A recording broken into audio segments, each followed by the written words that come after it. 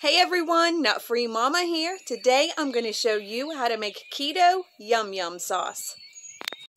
Alright, let's start off with our ingredients. First you need one and a half cups of mayo, any kind you like. I like to use Duke's.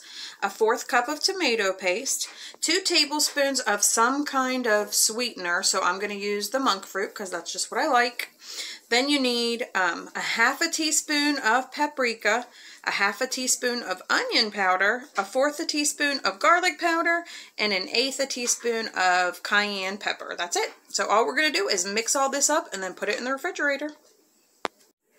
All right, that looks nice and combined to me. So I am going to get that um, covered up and put in the refrigerator for about three hours before serving. All right, my Yum Yum sauce has sat in the refrigerator for probably about five hours today. So now I am going to have it on some yummy chicken and hibachi chicken and veggies. So taste tester won't be tasting this because he does not like Yum Yum sauce. I don't know why. So don't forget to like and subscribe and come back and see us again. Bye.